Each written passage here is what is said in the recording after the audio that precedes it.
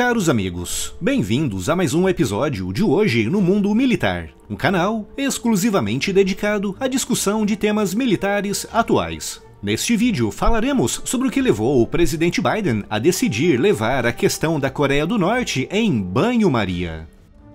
E se ainda não está inscrito no canal, inscreva-se já e acione o sino das notificações para não perder nenhuma novidade.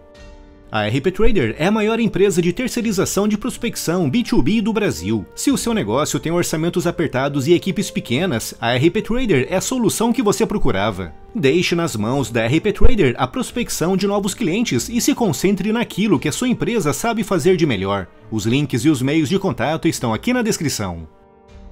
No dia 27 de julho de 1953, um armistício foi assinado entre os Estados Unidos e a Coreia do Norte, impondo uma trégua numa guerra que tinha começado três anos antes. Essa trégua, que não colocou um fim à guerra, criou uma situação de constante estresse e tensão na Península Coreana, mas era uma situação que durante décadas foi vista por Washington como um pequeno contratempo, uma espécie de preocupação menor, tendo em vista que durante a Guerra Fria os Estados Unidos estavam envolvidos em situações muito mais complicadas, como por exemplo no Vietnã.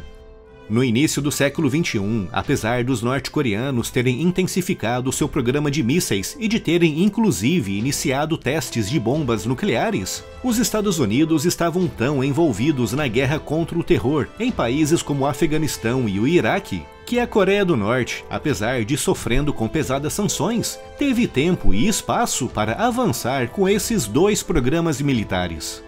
Em 2016, no último ano do mandato presidencial de Barack Obama, a Coreia do Norte realizou dois testes nucleares. E em 2017, no primeiro ano do mandato presidencial de Donald Trump, foi realizado o teste de uma bomba de hidrogênio muito poderosa, ao mesmo tempo em que batiam recordes tanto em número de testes como em alcance dos seus mísseis balísticos intercontinentais chegando mesmo a realizar testes muito ousados que incluíram o sobrevoo do território japonês.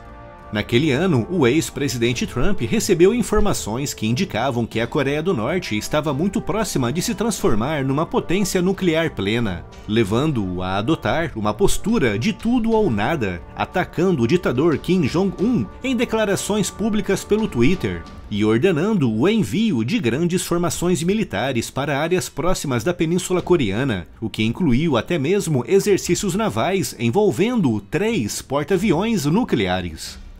O objetivo do ex-presidente Trump era assustar o ditador Kim Jong-un, um objetivo que claramente não alcançou, com a Coreia do Norte estabelecendo-se em 2018 como uma potência nuclear plena, capaz de lançar ogivas termonucleares muito poderosas contra alvos localizados até 13 mil quilômetros, colocando assim todo o território continental dos Estados Unidos no raio de ação desses mísseis.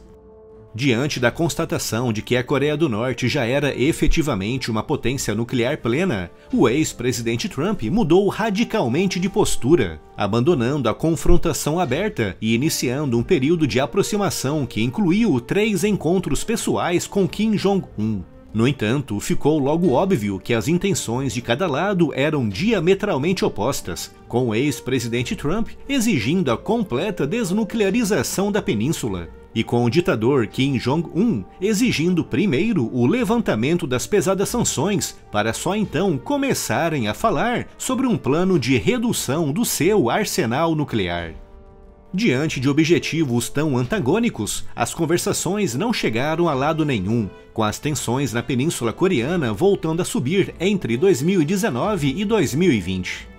E agora, em 2021, o recém-empossado presidente Biden tinha que tomar uma decisão difícil. Seguir a estratégia do seu antecessor e manter uma postura de abertura com relação à Coreia do Norte para levar à desnuclearização da península, adotar uma postura agressiva e de confrontação semelhante à adotada pelo ex-presidente Trump em 2017, ou conduzir a questão da Coreia do Norte em banho-maria, semelhante ao que fez entre 2009 e 2016, quando era o vice-presidente do ex-presidente Obama.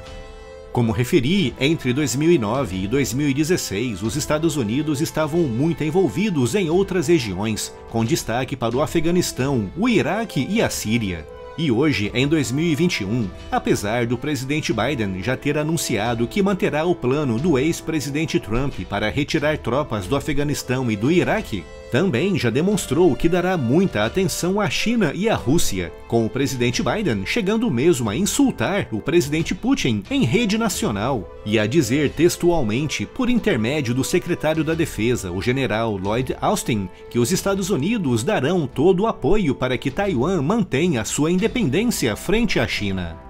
Essa postura de confrontação do presidente Biden com relação à Rússia e à China parece confirmar algumas fontes da Casa Branca, que disseram recentemente que a postura do presidente Biden com relação à Coreia do Norte será a mais pragmática possível. Os Estados Unidos já sabem que a Coreia do Norte é uma potência nuclear plena e já sabem que Kim Jong-un não quer se desnuclearizar o que significa que nesse momento, para o presidente Biden, a questão norte-coreana não tem uma solução à vista no curto ou médio prazo, e que por isso é melhor varrê-la temporariamente para debaixo do tapete, mantendo o ditador Kim Jong-un numa espécie de banho-maria.